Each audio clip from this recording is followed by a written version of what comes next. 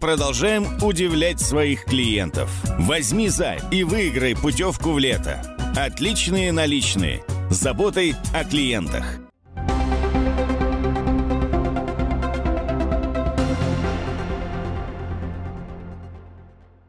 Весеннее время в число труднодоступных районов республики попадает Кызылский район, в частности поселки Черби и Карахак из-за отсутствия дорожного сообщения с Большой землей.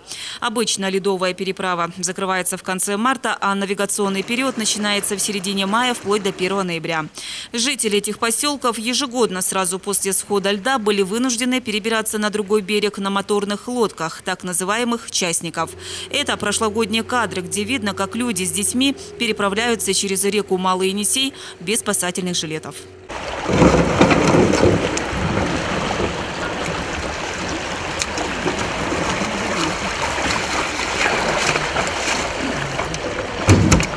Сейчас на месте Карахакской паромной переправы стоит новый мост, строительство которого началось по приказу министра обороны России Сергея Шойгу.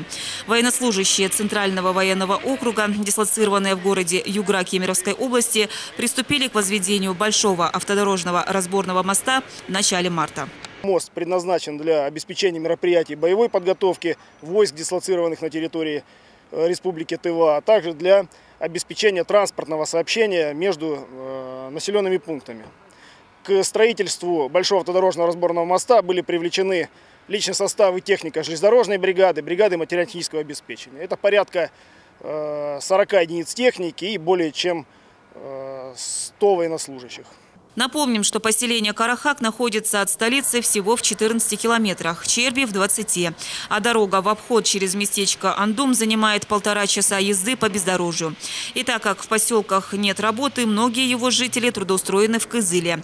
Более 60% населения сел ежедневно вынуждены добираться до столицы разными путями, а чаще всего на лодках.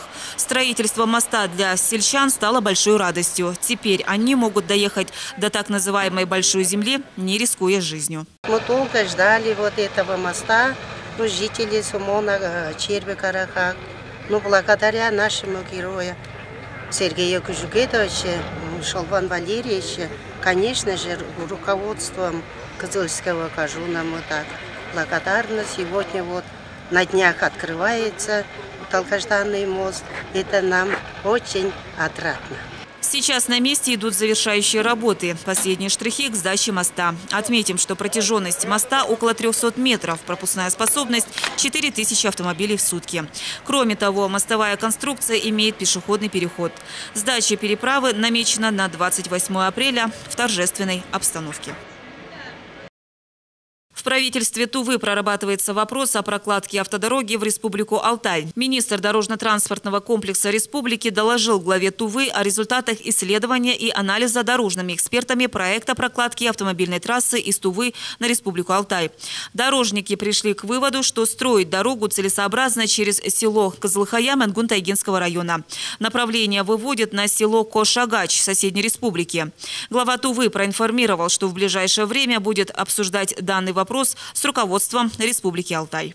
После анализа дорожников и проектировщиков приходим к выводу, что нужно прокладывать ее через село Кызылхая, а не от райцентра Мугураксы. Я уже говорил, что там сложный ландшафт, но направление для нас выгодное. Это выход на международный пункт Ташанта, на Республику Алтай и Новосибирскую область. Срезаем целых 300 километров. С Минтрансом наметили дальнейшие шаги. 24 апреля на площади Арата состоялась первая рабочая репетиция военного парада, приуроченного ко Дню Великой Победы. В этом году впервые в нем примет участие Тувинский государственный университет. Учебное заведение представляют студенты военной кафедры. В строю маршируют 48 человек. Также есть знаменная группа в составе шести студентов. Они несут флаг Российской Федерации и знамя сухопутных войск Вооруженных сил России. Отмечается, что 4 и 7 мая на площади Арата пройдет уже генеральная репетиция. В эти дни все участники действия будут в парадной военной форме.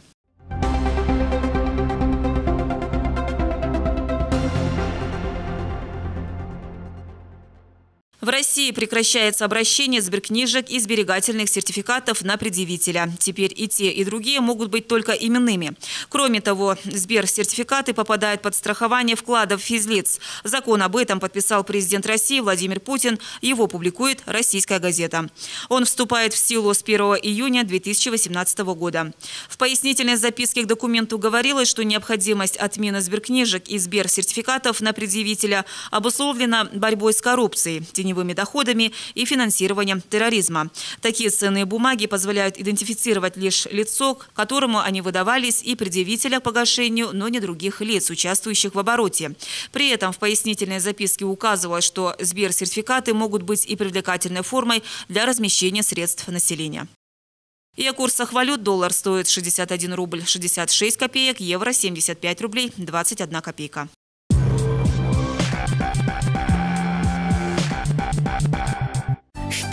Кызыле выставка живых тропических бабочек. Летают и даже садятся на руки. Ежедневно с 11 до 19 часов в Национальном музее.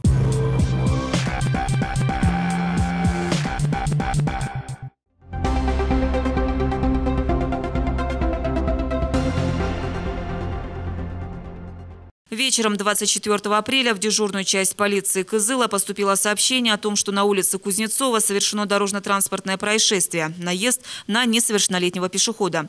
Установлено, что 33-летний водитель, двигаясь на автомобиле в южном направлении по улице Кузнецова, совершил наезд на 9-летнего пешехода, который выбежал на дорогу из-за стоящей на обочине маршрутки, водитель которого осуществлял высадку и посадку пассажиров. Ребенок с тяжелыми травмами госпитализирован в республиканскую больницу города города Кызыла в реанимационное отделение. Водитель прошел процедуру свидетельствования на состояние алкогольного опьянения. Согласно показаниям прибора, состояние алкогольного опьянения у него не установлено. Кроме этого, водитель должен был вести транспортное средство, учитывая интенсивность движения, дорожные условия, особенности и состояние транспортного средства и груза. По данному дорожно-транспортному происшествию Следственным управлением Управлением МВД России по городу Кызылу возбуждено уголовное дело по части 1 статьи 264 УК РФ «Нарушение правил дорожного движения лицом, управляющим автомобилем, повлекшее по неосторожности причинение тяжкого вреда здоровью человека». Санкция данной статьи предусматривает максимальное наказание в виде лишения свободы на срок до двух лет.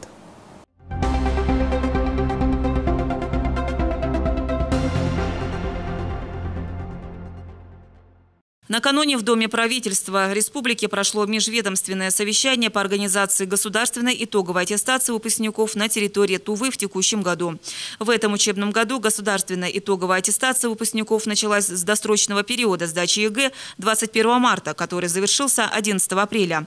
Основной период ЕГЭ пройдет в период с 25 мая по 2 июля и дополнительный период с 4 по 22 сентября. По результатам диагностических замеров определена группа риска среди выпускников этого года. Всего 362 ученика. Низкий уровень подготовки ГИА показывают выпускники Дзун-Хемчикского, Монгун-Тайгинского, Тоджинского и Эрзинского районов. На территории республики будут открыты 24 пункта приема экзамена. Они будут организованы во всех муниципалитетах республики, за исключением Барунхемческого и Козылского районов. В пунктах также предусмотрены аудитории для прохождения экзаменов участниками с ограниченными возможностями здоровья. Таких выпускников зарегистрировано 22. На дому будет открыто 4 пункта приема экзамена.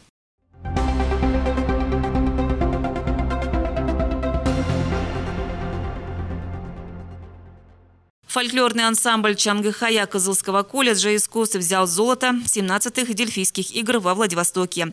В этом году игры проходят в рамках десятилетия детства в Российской Федерации и посвящены году культуры в Содружестве независимых государств. Участниками грандиозного форума стали почти 2000 человек из 69 регионов России, которые соревновались в творческом мастерстве и профессиональных номинациях. В конкурсную и фестивальную программу вошла 31 номинация классического, народного и современного современного видов искусств.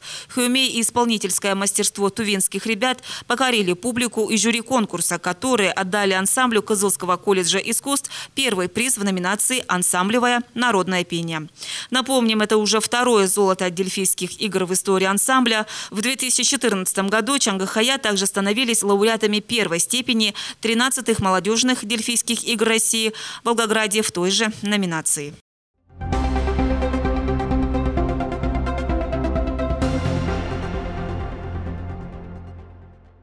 Ежедневно первое республиканское ФМ-радио «Голос Азии» дарит своим слушателям подарки. На этой неделе, кроме прочих, и призы радиоквеста «Замес майонез».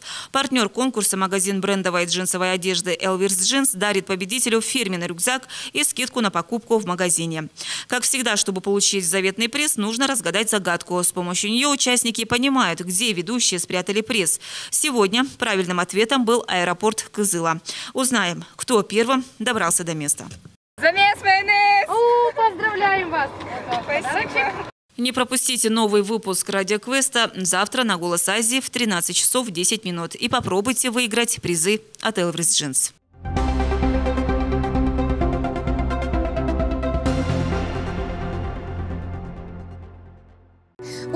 Универсам номер 19 по адресу Ровенская, 8 подготовил для жителей Тувы розыгрыш холодильника марки «Бирюса». Для участия вам нужно купить продукты на 600 рублей, и вы получаете карту с номером, которая позволяет вам участвовать в розыгрыше.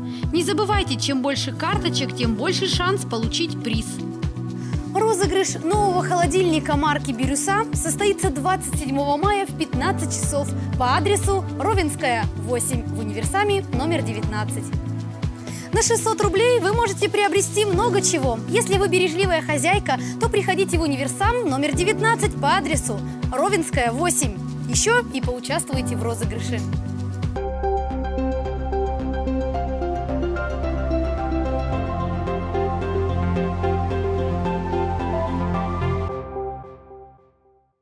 Мы продолжаем удивлять своих клиентов. Возьми займ и выиграй путевку в лето. Отличные наличные. С заботой о клиентах.